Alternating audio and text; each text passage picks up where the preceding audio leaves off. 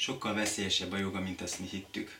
Megjelent egy ilyen cikk az Indexen. Nagyon érdekes a téma, ezért azt gondoltam, hogy érdemes rá reagálni, hiszen ez megijeszthet minket, hogy akkor most jogázzunk, vagy ne jogázzunk, fölmerülhet ez a kérdés.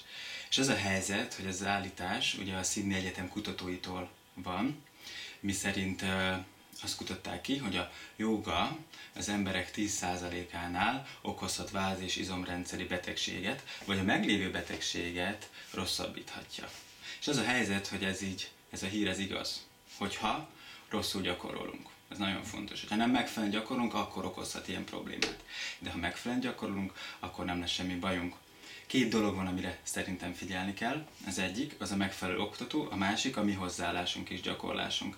A megfelelő oktató azt jelenti, hogy válasszunk olyan jogoktatót, aki valóban érti azt, amit csinál, megfelelően szakképzett, tudja, hogy mind, bizonyos problémák és betegségek esetén mit lehet csinálni, mit nem lehet csinálni, illetve milyen alternatívákat tudunk gyakorolni ezen esetekben.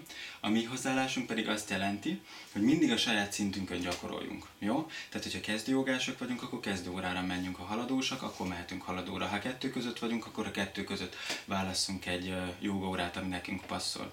Illetve az is nagyon fontos, ha még sose jogáztunk, akkor nem menjünk rögtön egy csoportos, intenzív gyakorló órára, mert akkor is túlterhelhetjük akár az izületeket, akár az izmokat, sőt, hozzáteszem az idegrendszert, hormonrendszert, bármit túl tudunk terhelni hogyha túl sok nekünk az a szint, ahol bementünk. Ezért, ha még se jogáztál, akkor mindenképp menj el egy kezdő tanfolyamra vagy magánórára, keres egy olyan oktatót, amit említettem, aki ért hozzá, és lépésről lépésre tanuld meg ezt az egész jogát, amely bevezet téged, és akkor hétről hétre nehezítsd el a gyakorlásnak a mélységét, akár a lazaság, akár az erőlét szempontjából, és hogyha ezt így megteszed, mind a tudatod, mind az idegrendszered, mind a tested, azon belül is az izomrendszer és csontrendszer hozzászokik a terheléshez, és semmi bajod nem lesz de nagyon fontos, hogy akkor ezt már én nem csak a jogára mondanám, hogyha elkezdesz futni, elkezdesz aerobikozni, konditerembe jársz, bármilyen sportot vagy mozgást fogsz űzni, ugyanez az elv érvényes, hogy ne fejjel ugor bele a témába,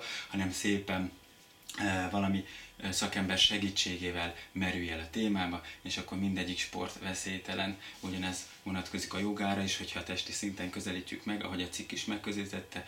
Tehát ha erre figyelsz, akkor bátran jogázhatsz.